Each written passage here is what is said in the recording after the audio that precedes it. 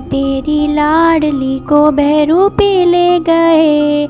बचपन और मासूमियत को उजाड़ के गए। दारू पी के होश खो के लोग बैठे घेर में। कपड़े फाड़े, थप्पड़ मारे, पहुँचे ना वो जेल में।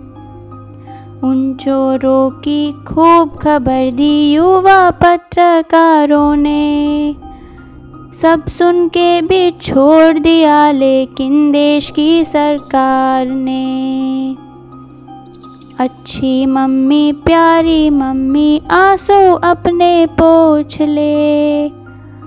अच्छा बुरा में सब बदला दो खोए न बचपन इस भूल से।